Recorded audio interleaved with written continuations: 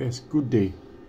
Um, this video um, is actually a continuation of the online class, should I say the live video we did that is earlier today.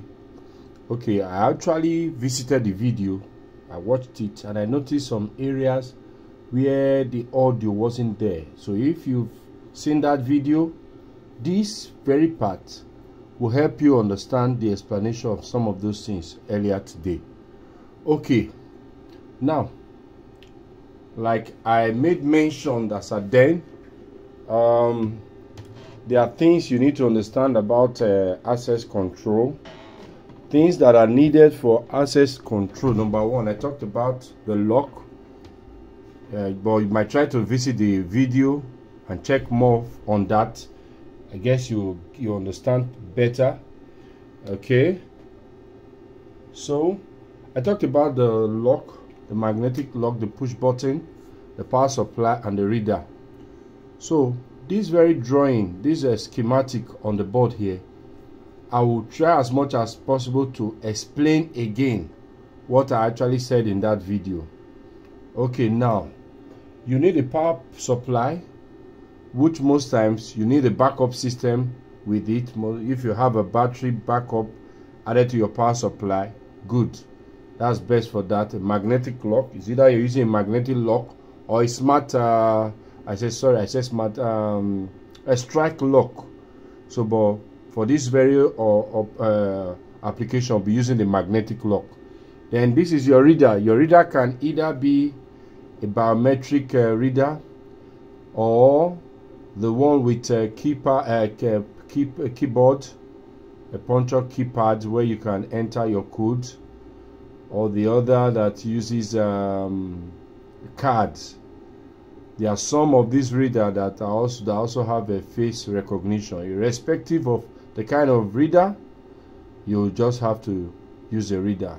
And like I said in that video, I talked about your reader is the only device that is seen outside before you gain access into the area that has restricted the entrance.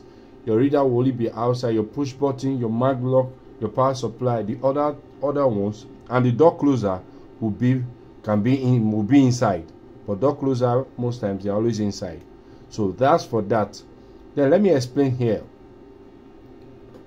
This power supply the positive part of the power supply is connected to the mag one part the positive of the magnetic lock okay? The minute that is done the other part you need to consider is your negative part. The negative part of this power supply is connected to the reader also. Now the part coming to this magnetic lock also feeds this reader. That is from here. You see this? It is linked here. There's a link between this all to the positive of this reader then this is the the negative all to the way to the negative of that reader. But notice you note it's just only the positive that I brought here in the first place. Then from that video I explained that later how I drew this line. You take the negative this uh, negative from this magnetic lock.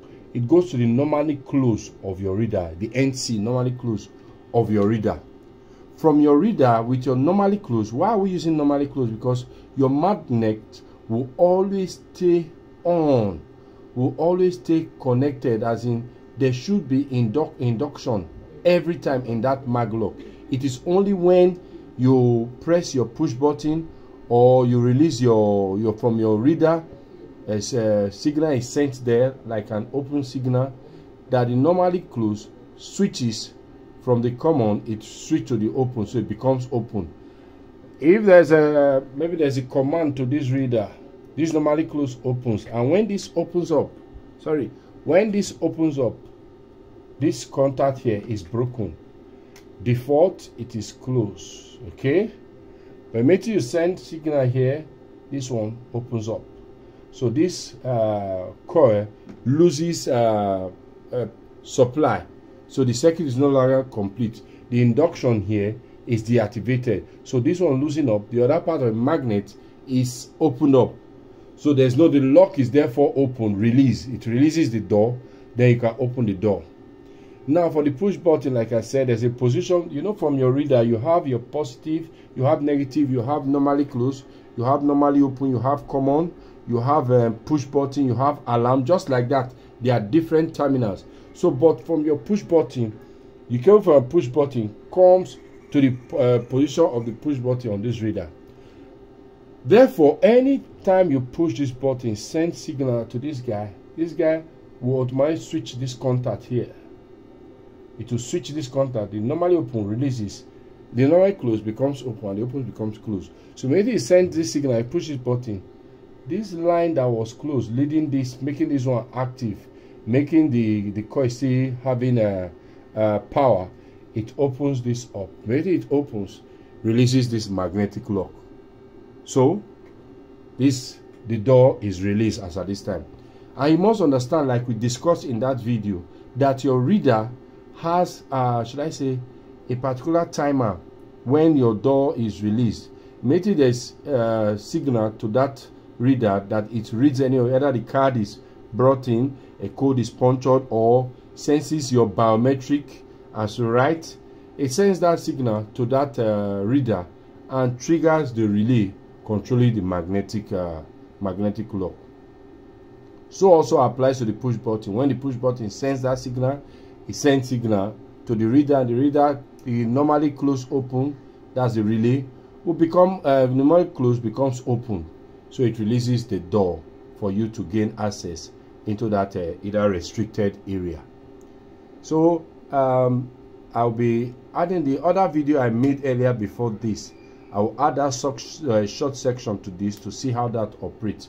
But when we are dealing with uh, a strike lock that is not a magnetic lock instead of you using your normally closed you'll be using your normally open because strike lock they work like um, should i say almost something i call them deadbolt. They are only active immediately power comes in that is where the inductive the inducting coil will have to drag the lock open. So it will drag it open. Immediately that count that time that time set in your reader elapses. Sometimes i have them in three seconds some five seconds. Depends on the application whatever you feel you deem fit for you to use for that uh, for that installation. But one thing you must understand if you're doing dealing with a magnetic lock it must always be on a normally closed contact. But if you're dealing with a strike lock you you need the normally open contact to be connected from the reader. So that's all i think i have for now. So please you can visit that video. We have more explanation about this lock there. How we started off drawing each of the connection from scratch but i don't want to make this video too lengthy so i had to stop at this very point. So till we meet again in our next class do have a lovely day thanks for watching. Bye for now